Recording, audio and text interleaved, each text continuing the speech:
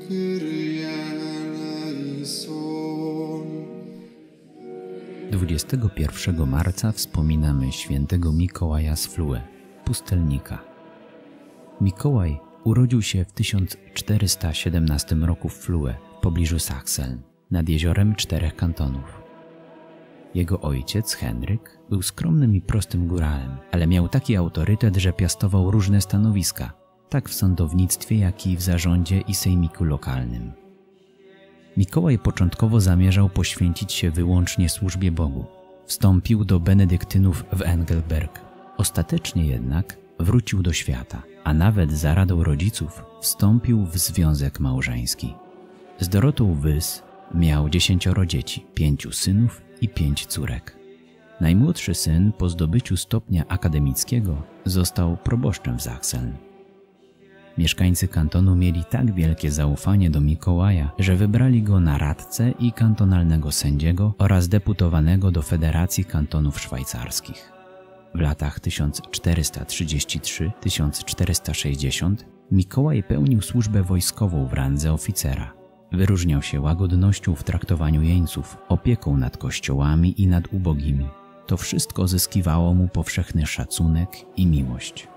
Po kampanii wojennej, za zezwoleniem małżonki i zabezpieczywszy odpowiednio rodzinę, ponownie wstąpił do klasztoru reformowanych benedyktynów, nazywających się przyjaciółmi Boga. Miał już wtedy 50 lat. We śnie otrzymał jednak napomnienie, że wolą Bożą jest, aby w rodzinnych stronach jako pustelnik budował i zachęcał do bogobojnego życia swoich współziomków. Dlatego założył w Ranft, w pobliżu Flue, mały domek i kapliczkę, gdzie modlitwę łączył z uczynkami pokutnymi. Sława pustelnika zaczęła ściągać do niego ciekawych i pobożnych ludzi. Korzystał z każdej okazji, by mówić o Panu Bogu i konieczności zbawienia swojej duszy. Dopóki nie otrzymał własnego kapelana, chodził na msze do pobliskiego miasteczka, gdzie księdzem był jego syn. Kiedy w roku 1473 nieomal ponownie nie doszło do wojny z Austrią, Mikołaj podjął się trudu, by załagodzić zaogniony spór.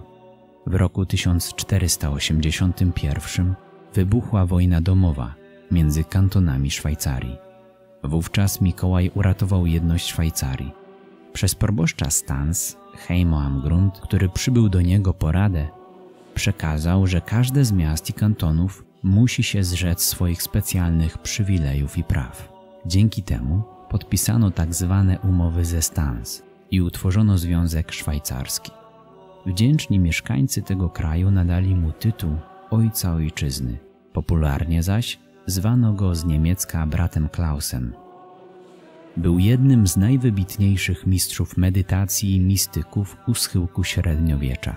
Obdarowany został niezwykłymi charyzmatami. Przez 19 lat jego pożywieniem była wyłącznie Eucharystia. Fakt ten został potwierdzony kanonicznym procesem. Uciekano się do niego we wszelkich potrzebach. Radzono się w najtrudniejszych sprawach, proszono o modlitwę. Nawrócił wiele zbłąkanych dusz. Zmarł 21 marca 1487 roku po krótkiej, ale bolesnej chorobie. Pan Bóg wsławił jego grób licznymi cudami, które zostały spisane w osobnej księdze. W roku 1501 powstał jego pierwszy żywot. Proces kanonizacyjny mógł się jednak rozpocząć dopiero w 1587 roku ze względu na okres wojen religijno-politycznych w Szwajcarii.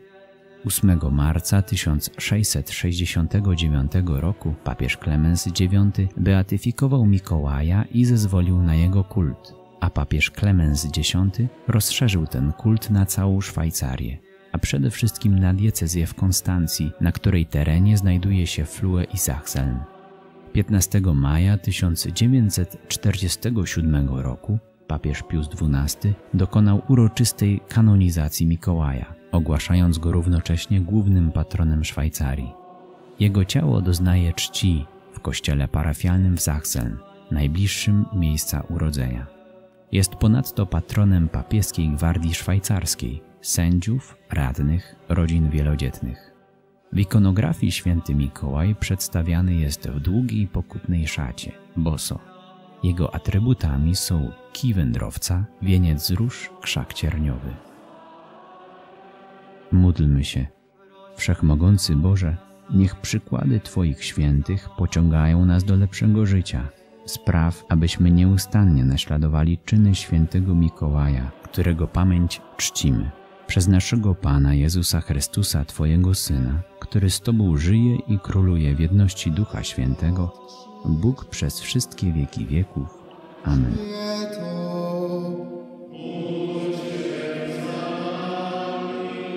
Wszyscy święci, święte Boże.